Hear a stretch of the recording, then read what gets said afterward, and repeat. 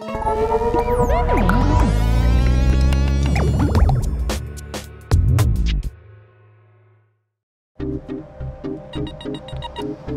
Hey, Rogier. eh Miguel. Ja, dankjewel man. Altijd droomde ik over een toekomst als documentairemaker. Ik wilde mooie verhalen vertellen over bijzondere mensen. Maar het leven van een regisseur is niet altijd even makkelijk. Dus ging ik op zoek naar een nieuwe baan. Een baan waar ik werd betrokken bij de maatschappij en iets kon betekenen voor anderen. Ik besloot te gaan werken in de thuiszorg. Ik ben de thuiszorgman.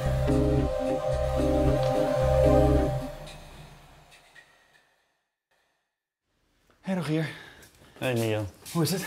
Ja, het gaat. Ja. Erg moe. Erg moe. Zal ik even een bak koffie voor je zetten? Ja. Prima. Seks, drugs en rock and roll. Zo leefde Rogier in het centrum van Amsterdam. Hij is bijna net zo oud als ik.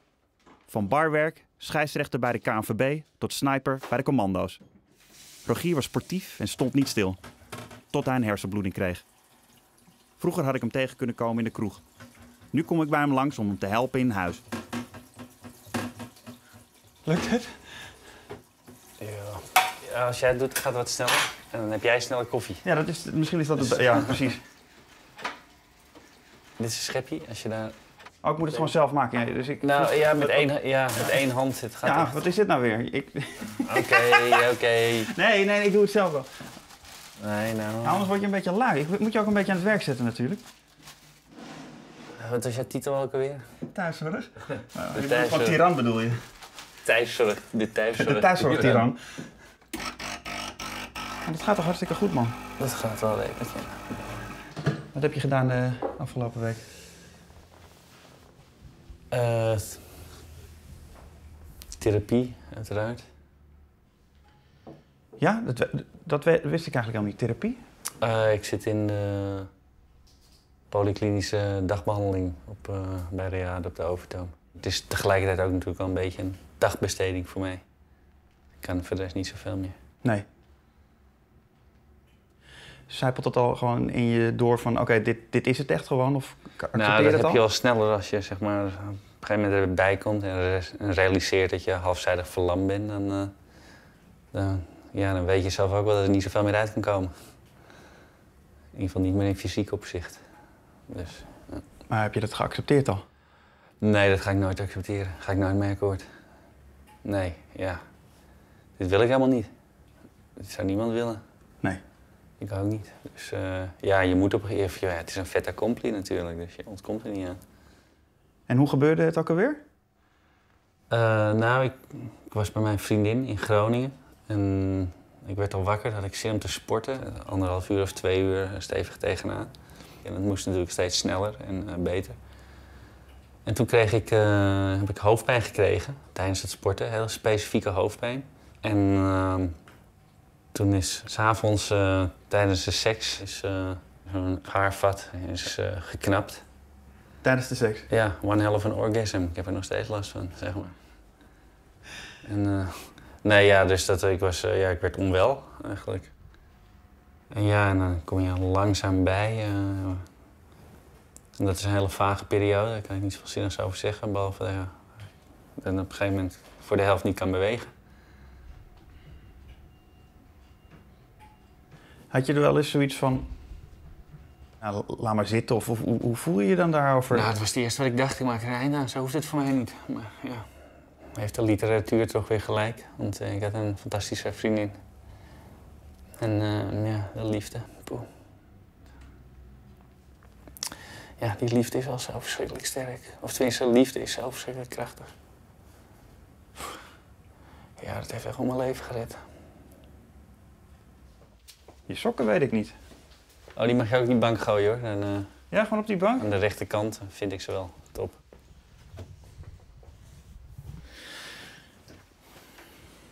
Hey, meisje. Hey, schatje. Hey, schatje. Hey. Venna. Miguel. Hoi. Let niet op mij, ik ben gewoon mijn ding aan het doen hier. Oké, okay, prima. Alles goed? Ja, goed. Ja, mensen. Je een goede reis? Ja, ja. Zeker. Heb je een leuke week gehad? Ja, fijne week. Ja? Nog wat leuks gedaan. Eh, een beetje rondgereden op de elektrische, de elektrische rolstoel. Oh ja, Lennart was er ook, hè? Ja, ik ben eh, de hele stad rond geweest met Lennart. Dit, dit kan gewoon buiten gezet worden, toch? Of, of wil je dat... Eh, ja. Vraag mij ineens echt even... Zie je, zie je nu minder mensen dan vroeger? Zijn de vrienden nog steeds je vrienden? Ja, de, de frequentie is misschien wat lager geworden. Want, omdat het gewoon minder makkelijk is om even in een kroegje af te spreken of zo. Al je denkbeelden over het leven gaan ervan uit dat je gewoon op twee benen kan staan. En dat je gewoon loopt. En ook een toekomst samen. Het gaat er gewoon vanuit dat je gewoon kan lopen en ergens naartoe kunt gaan. Ja, en dus je, moet je hele wereld eh, opnieuw eh, ja, herzien, opnieuw definiëren eigenlijk, vanuit zo'n stoel. Eh, je kan niet meer lopen, dus klaar. Het is een voldongen feit. Ik kan het wel proberen, dan val ik om.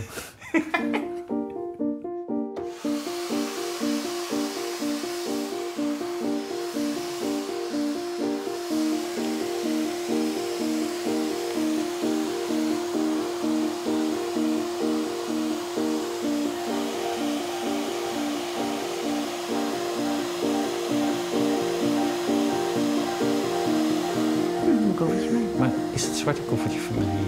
Nee, volgens mij ligt hij in de kast. Oké, dan komt het goed. Ja, zeker. Ik heb er zin in. Ik ook. Ja.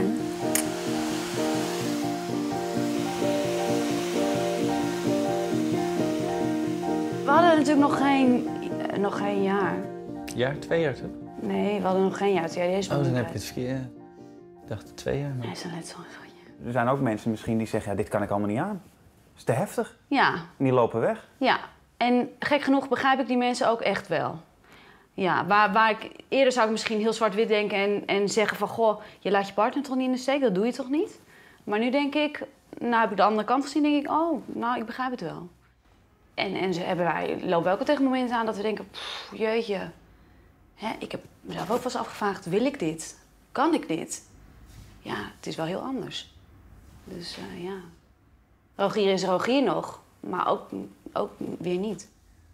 En langzaam ga je weer plannetjes maken voor de toekomst. Ja, in Amsterdam wil je fietsen. En ik wil ook dolgraag weer fietsen, maar dat, is een, eh, dat lukt alleen op een eh, speciale fiets. En dat is een fiets van 7200 euro. Dus mijn oud-collega's die zijn een inzameling eh, begonnen. Ik, ik, ik schrijf het allemaal, ik hou het allemaal bij in een boekje. Volgens mij hebben er iets van 100, bijna 100 mensen, 99 zit ik nu, hebben gedoneerd. Die hebben gewoon geld gestort, wat dan ook. Goed man. Van een euro tot aan, nou, noem maar op. Ook mensen die Rogier niet kennen, die die actie voorbij zijn gekomen, die hebben geld gedoneerd. Zo tof. Maar de onbekende mensen die jou gewoon even geld geven voor die fiets. Ja, dat is fantastisch natuurlijk. Dat is echt fantastisch, ja. Ik kan niet anders zeggen. Wat is het eerste wat er, waar ga je naartoe fietsen? Groningen, denk ik. Naar je meisje. Tja. Ja, ik weet niet. Ik denk dat ze me wel bij Amersfoort zullen vinden. Dus, eh, Nou, een paar biertjes mee. Dan kom je er wel. Klaar nu. tja. Sorry, ik ben- Rij je nu over meteen? Je rijdt nu tweede keer over. Ik moet er zo vandoor. Dus ik, eh, ik laat jullie zo Ja, eh, natuurlijk. de tortelduifjes alleen.